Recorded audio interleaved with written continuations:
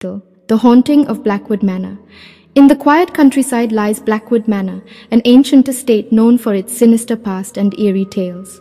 Decades ago, the Blackwood family met a tragic end, and since then the manor has been abandoned, considered cursed by the locals. But one group of thrill seekers, lured by the stories, couldn't resist the temptation to explore the haunted mansion. Among the brave souls were four friends Emily, the adventurous and skeptical one, Alex, the curious historian, Sarah, the spiritual believer, and Jake, the skeptic trying to prove that ghosts don't exist. On a chilling autumn night, they arrived at the foreboding Blackwood Manor, the full moon casting ominous shadows over the crumbling structure. As they stepped through the creaking front door, the atmosphere turned oppressive and the air seemed to thicken with unease. The first night was relatively calm, but unsettling occurrences soon began to unfold. They heard footsteps in the empty hallways, doors slamming shut on their own, and chilling whispers that echoed through the corridors. Every now and then, they caught glimpses of ghostly figures lurking in the corners of their vision, disappearing as soon as they tried to focus on them. Sarah, the spiritual believer, insisted that the spirits of the Blackwood family were restless and sought to communicate with the living. She began conducting seances in the grand parlor, inviting the ghosts to speak. Each session grew more intense as the spirits' messages became more malevolent and cryptic. As tensions grew within the group, they started to experience disturbing nightmares.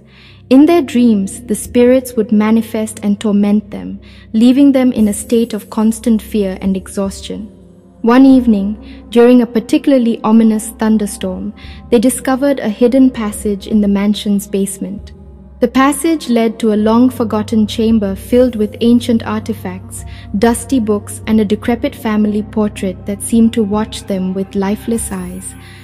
Alex, the historian, delved into the history of the Blackwood family and the reasons behind their haunting. He uncovered a horrifying secret. The Blackwoods had practiced dark rituals and made a pact with a malevolent entity in exchange for wealth and power.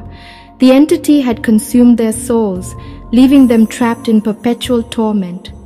Fueled by their desire to free the Blackwood spirits, the group resolved to break the curse. They devised a plan to perform a ritual to banish the malevolent entity back to the shadows. The night of the ritual arrived, and the air crackled with energy as they gathered in the haunted parlor. Candles flickered, and the atmosphere grew suffocating. Sarah began chanting incantations, and a low, haunting hum filled the room. The spirits of the Blackwood family manifested, their faces twisted in anguish and rage. But the ritual did not go as planned. The malevolent entity fought back with furious intensity, unleashing a torrent of dark energy that engulfed the room. The walls shook, and the very foundation of the manor seemed to groan in agony.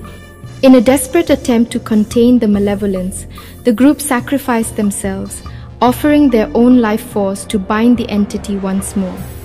The spirits of the Blackwood family were finally free, but the cost was great.